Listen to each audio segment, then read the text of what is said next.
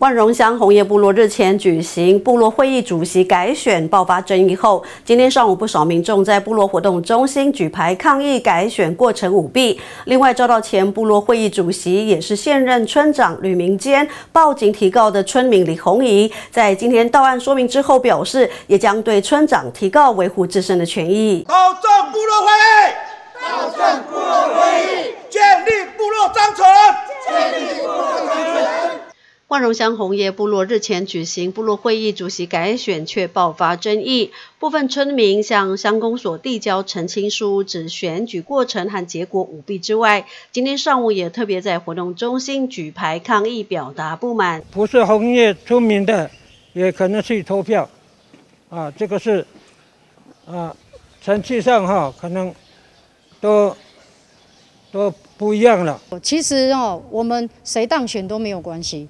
但重点是程序要正常，要要我们讲的，你程序要正常，对不对？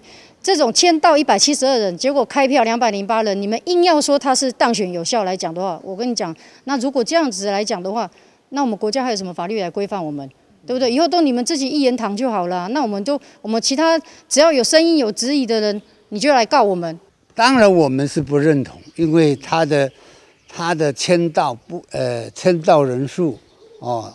跟他投票的人数是差距这么大，哦，那这是到底是什么原因？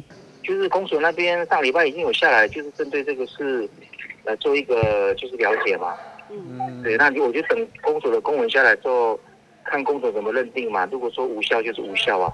嗯，所以无效的话，可能就会重新改选这样子。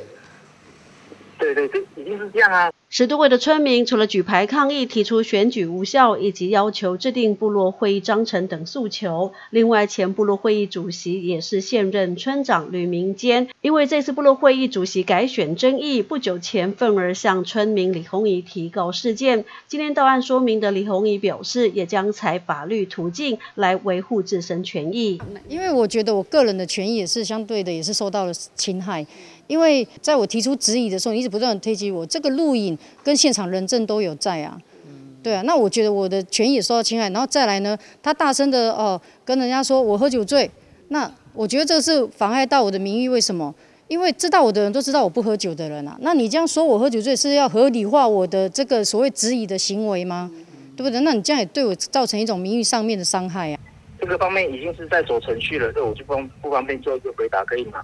可以可以可以可以，那如果后续针对部落主席改选却引爆过程及结果舞弊的争议，乡公所也提报原民会调查厘清之外，对于村长与村民互告，双方态度都相当坚定，并表示一切都交给司法处理。